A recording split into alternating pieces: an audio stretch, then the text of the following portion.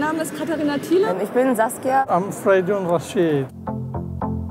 I'm from Sydney. I'm from Moscow. I found it quite sad actually. I wasn't aware that this was going on.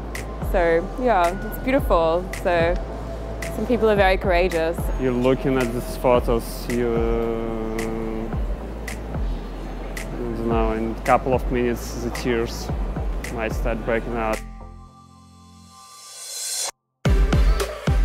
I hope this kind of extradition is continue, especially Normadi and Diyala, specifically for re reconstructing primary and secondary schools and those people, I think they lost everything during Daesh attack in Iraq. Weil ich um im Moment nicht so viel Fernsehen sehe, ist es für mich also gerade nochmal eine andere Art, das wieder zu sehen. Und gerade das Medium-Foto sagt einfach sehr viel aus.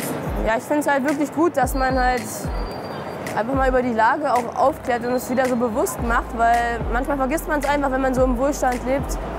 Auch einfach allein, wenn man sich vorstellt, die bleiben dort, versuchen irgendwie zu überleben, weil sie wissen, es könnte tödlich ausgehen, wenn wir irgendwo anders hin wollen.